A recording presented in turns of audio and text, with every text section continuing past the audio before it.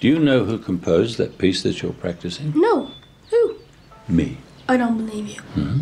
And what's the composer's name? Fred Ballinger. And you? What's your name? Fred Ballinger.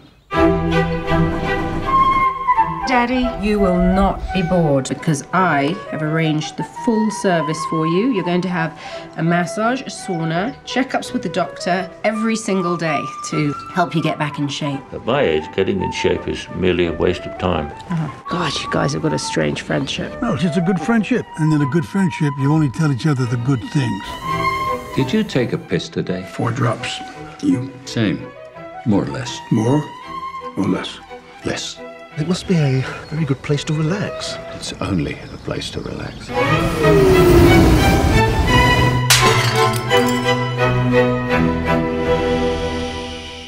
You still directing or composing, Maestro? Oh, no, I'm, I'm retired. Well, I'm sure you've not forgotten how it's done. No. I haven't forgotten how it's done.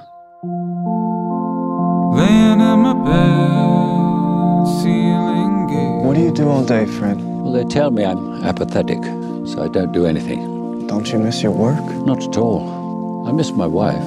You didn't know the first thing about my mother. You never bothered to take care of her. She loved you, and so she forgave you. No matter what happened, she still wanted to be with you. But who were you? Who? That's what I always asked myself. Outside my window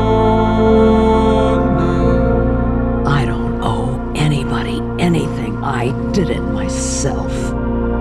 You say emotions are overrated.